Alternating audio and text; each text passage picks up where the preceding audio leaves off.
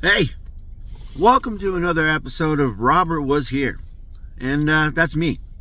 So, uh, thank you for joining me. Um, no, the format has not changed. I am almost down to my last uh, level of energy. So, and I got my dog staring at me, so I probably can't make this video long. But, uh, I wanted to say a couple things first. Um, the uh, the football season came to an end this weekend. Uh, well, which was not really this weekend. It was you know, Friday. But anyways, um,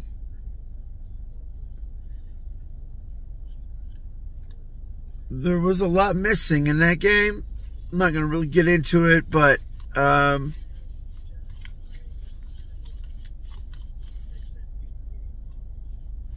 didn't uh, didn't get the job done. So, anyways, the the season's over with, but I'm so happy for those kids. They uh, they did a lot, like a lot of them that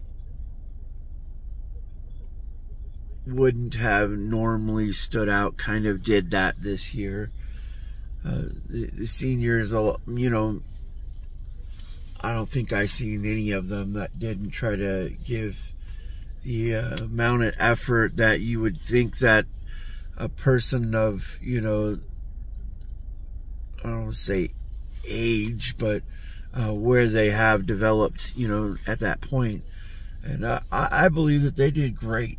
Um, I hope, I hope a lot of those people that came uh, for football maybe uh, could join basketball.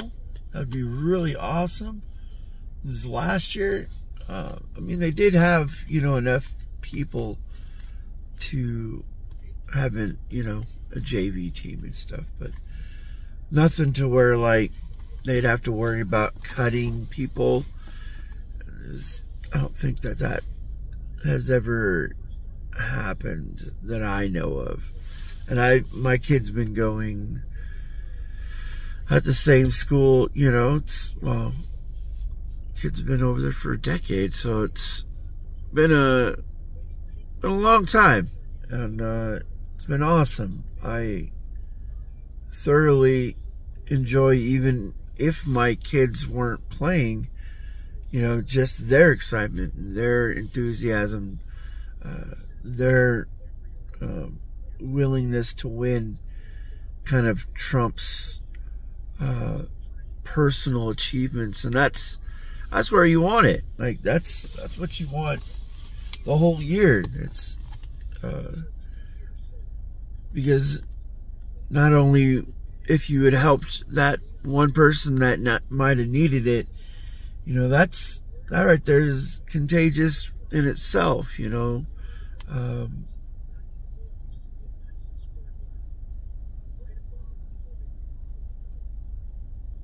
I think uh, the season, well, at least for practice, is the 13th? I, I can't remember the dates, but it's coming soon for basketball. So it's, uh, um,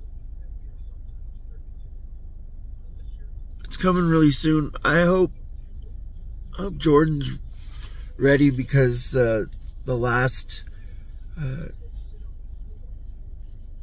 the last two weeks, or at least the last month, haven't been great with him because he sprained his ankle and pretty much ever since then, he's trying to recover from that.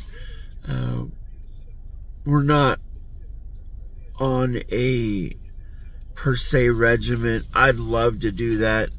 Uh, I've already sent him a bunch of stuff for him to do by himself because he was also battling with a little bit of a cold.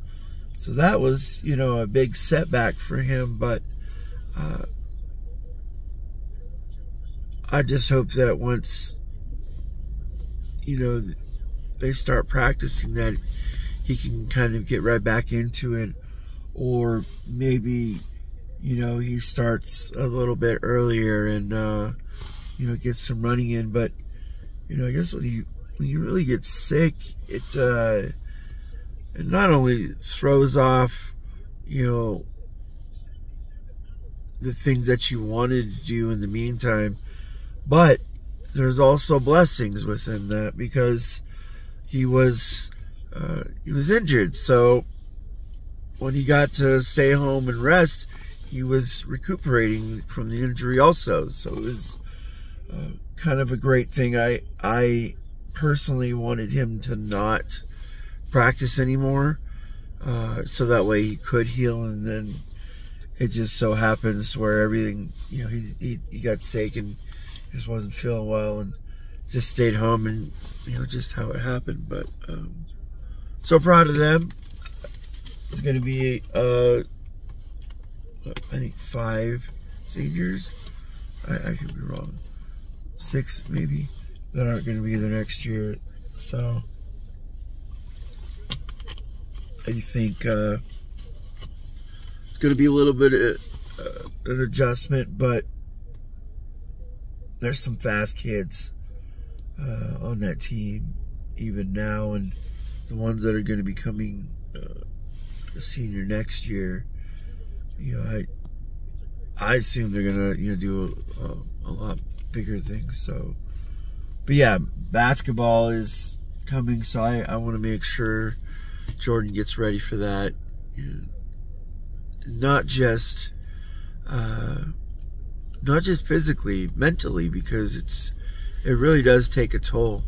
Um, even if right now he's not having any struggles at all academically at all like he doesn't just like it's like uh, his older brother they they see the significance in education and where it could lead um, and they care like they care to do great for themselves because it's a you know personal achievements, why why wouldn't you want to have them? But um,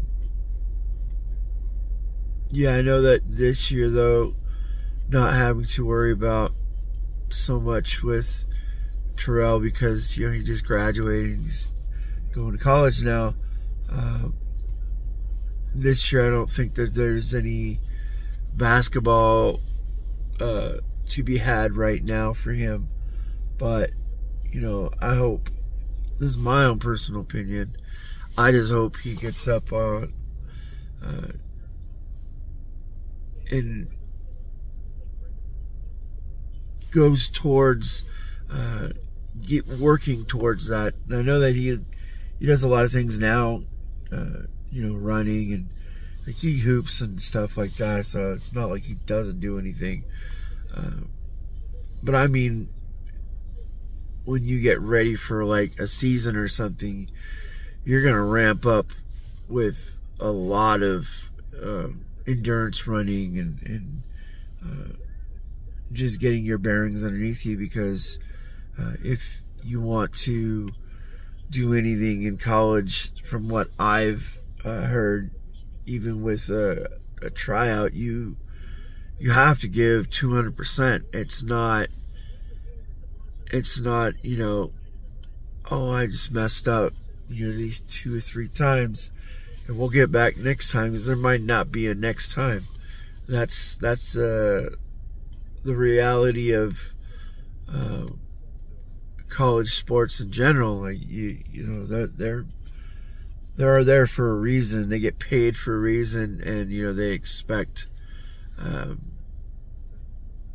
somewhat, you know, excellent standards at least. So I, I have no doubt, like defensively alone. I'm not saying my kid can't shoot or anything like that. Not even I'm saying that at all. Period. But defensively alone, he's he's he can be pretty scary. He can be. He really can. And then he's not he's not huge, and that's that's the thing. Like he he knew where he grew into and took advantage of that. And uh, it looks like all my time is done. So thanks for joining me. I'll talk to y'all later. Have a good weekend. Be great.